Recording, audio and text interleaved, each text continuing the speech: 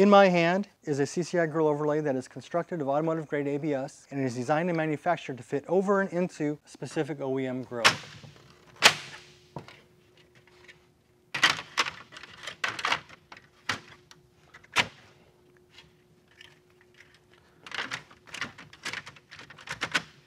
As you can see, it was that easy. No drilling, no cutting, no bolting. It'll take longer to wipe off his fingerprints than it did to install the grill overlay. Not only did it upgrade the look of the grill instantly, at a dealer level, it also upgrades the trim level appearance of the vehicle it's installed on.